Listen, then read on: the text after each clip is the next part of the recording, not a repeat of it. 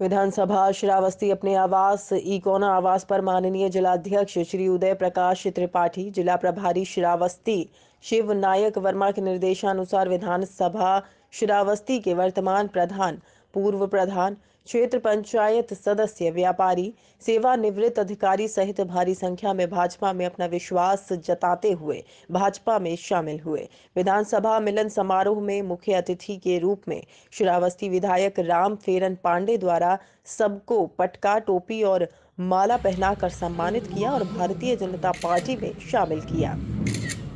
भारत माता की भारत माता की